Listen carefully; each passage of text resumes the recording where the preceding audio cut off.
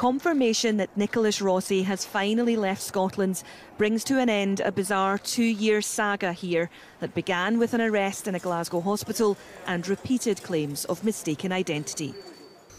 Sharon, we're sitting having a conversation. I've never been dead to anyone. I do not prefer to be called Arthur Knight. I am Arthur Knight.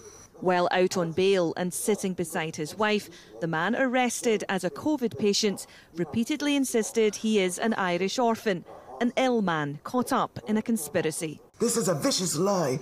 How can I be a flight risk if I can't even stand?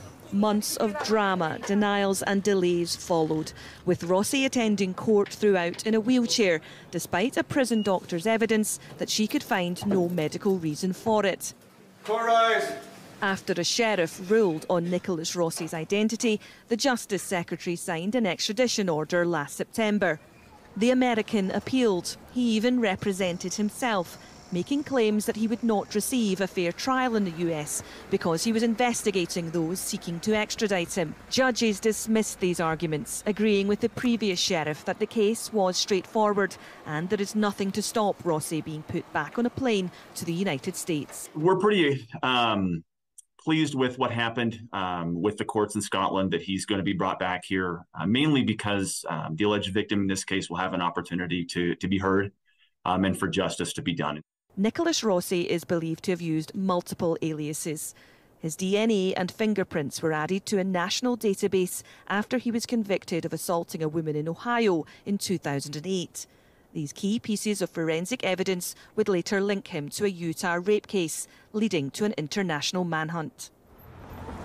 In his home state of Rhode Island, the 36 year old is also known by his birth name, Nicholas Alahverdian. By the time this elaborate obituary was posted in 2020, it's believed Nicholas was already living in the UK, leaving behind him a string of criminal allegations and debts.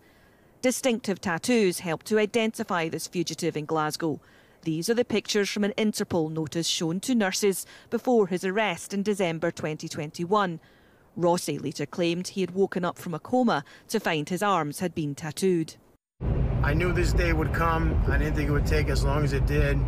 Um, but the long arm of the law, the old saying, um, will get you because this is really about the victims, everything he's done to them. So I'm glad you're on your way back, Nick. I can't wait. I may fly out to uh, Dayton, Ohio, Utah, wherever you're going to go, and watch your trial. Spinning a story with so many twists and turns, Nicholas Rossi has found himself the subject of numerous podcasts and documentaries. It's now over to the American courts for the next chapter. Sharon Frew, STV News.